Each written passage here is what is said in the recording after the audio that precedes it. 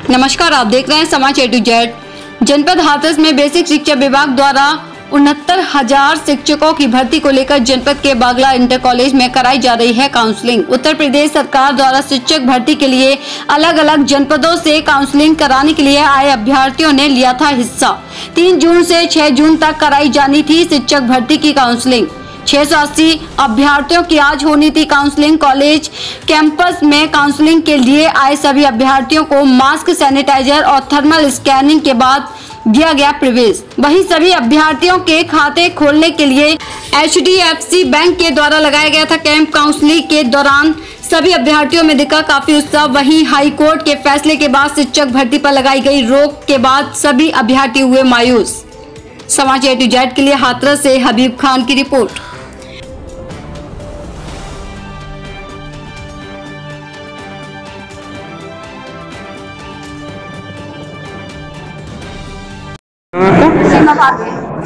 अभी यहाँ पे जो आप आए हैं यहाँ पे तो बागला इंटर कॉलेज में किस लिए आए हुए हैं? तो पहले काउंसलिंग रुक गई थी लॉकडाउन से पहले या नहीं? नहीं। ये अभी हो रही है पहली बार। तो कितने लोग यहाँ पे आज काउंसलिंग के लिए आए हुए हैं? कितने छात्र हैं आपके जैसे? छह सौ से ऊपर है। सौ से ऊपर है। तो कैसा लग रहा है आज आपकी काउंसलिंग हो रही है और लॉकडाउन खुला है पहली बार? अच्छा लग रहा है थोड़ी आगे बढ़ रही है।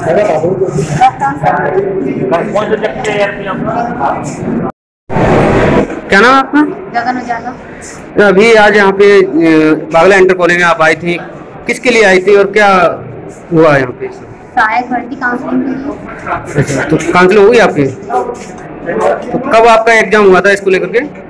ये हुआ था दिसंबर दो हज़ार अठारह में। दिसंबर 2018 में। टेट हुआ था उसके बाद सुपर टेट हुआ था वो जनवरी दो हज़ार उन्नीस में हुआ था। 2019 में। तो अब कैसा लग रहा है आपको? आपकी काउंसलिंग हुई है और कैसा उस साल छात्रों में भी और आपको कैसा लग रहा है? अच्छा लग रहा है अच्छा लग रहा है। ठीक। कितने छात्र आज यहाँ पे काउंसलिंग के लिए आए हैं? जानकारी है आपको? नॉलेज तो नहीं है लेकिन छह सौ के समथिंग छात्र बुलाए गए हैं। तो अभी सारे तो नहीं आए होंगे थोड़े कम ही आए हैं। कहाँ की रहने वाली हैं आप? आगरा। आगरा के?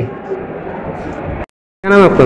इरफान इरफान जी आज आप यहाँ पे जिला के बागला इंटर कॉलेज में आए हुए हैं और किसके लिए आज आप यहाँ पे आए हुए हैं? यहाँ से सहायक अध्यापक जो उनहत्तर हज़ार शिक्षक भर्ती उत्तर प्रदेश में निकली हुई है। उसकी आज काउंसलिंग का प्रथम दिवस है। वही तीन से छह जून तक चलेगी काउंसलिंग तो यहाँ पे आज कितने स्टूडेंट यहाँ पे काउंसलिंग कराने के लिए आए? कुछ जानकारी? कुल छह सौ अस्सी पद है यहाँ पे सीकर इसमें के छह सौ सड़सठ की लिस्ट जारी हुई है। तो आज कितने लोगों की यहाँ पे काउंसलिंग हो रही है? ऐसा ऐसा नहीं है जितने भी लोग हैं पूरे छह सौ अस्सी आमंत्रित किए गए हैं। उनमें से कुछ आज आए होंगे कुछ नहीं भी आए होंगे। तो यहाँ पे लॉकडाउन खुला है इस समय और यहाँ पे जैसे कि नियम बताए गए थे लॉकडाउन को लेकर के तो यहाँ पे कितना पालन किया जा रहा है लॉकडाउन का? आपने पालन हो रहा है? जैसे कि आप देख पा रहे हैं फेस मास्क है।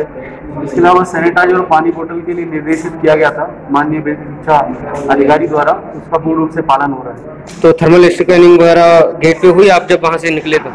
सर थर्मल स्कैनिंग ऐसा सच नहीं हुई है लेकिन उसके लिए जो पालन के लिए कहा गया था कि आपको तीन चीज़ें लेके आनी है फेस मास्क सैनिटाइजर और पानी बोतल जो अभ्यर्थी को निर्देश था उसका हम पूर्ण रूप से पालन कर कहाँ के रहने वाले हैं आप? सर मैं जनपद हाथरस के रहने वाले बेसाब आज जनपद हाथरस में जो काउंसलिंग कराई जा रही थी शिक्षक भर्ती को लेकर के इस समय बता रहे हैं कि हाई हाई कोर्ट का एक स्टे आया है जिसपे रोक लगा दी गई है। क्या है कहना आपका इस मामले में? औपचारिक तौर पर हमें कुछ संज्ञान में नहीं नहीं आया है। जो औपचारिक कोई लिखित निर्देश मिलेगी उसी के अनुसार हम लोग आगे कार्रवाई करेंगे। फ़िलहाल काउंसलिंग जारी रहेगी। तो अभी यहाँ हाथरस जनपद में कितने इस छात्रों की काउंसलिंग जो है जारी हुई थी लिस्ट और कितने की हो चुकी है इस समय? छः सौ अस्सी की हमारी जारी हुई थी। छः सौ अस्सी ट्रेनिंग की करीब करीब ढाई सौ काउंसलिंग हो चुकी है। तो कितने पूरे उत्तर प्रदेश में कितनी भर्ती थी? जनपद हाथरस में छः सौ अस्सी थी। पूरे जनपद में सिक्सटी नाइन थाउज़ेंड इस समय अब जो है, अभी भर्ती हो रही है। अब कितने दिन तक ये चलने वाली है हाथरस जनपद में? अभी तीन, चार, पाँच, चार दिन चलने का निर्देश था, लेकिन आगे जो निर्देश होगा, उसके अनुसार हम काम करेंगे।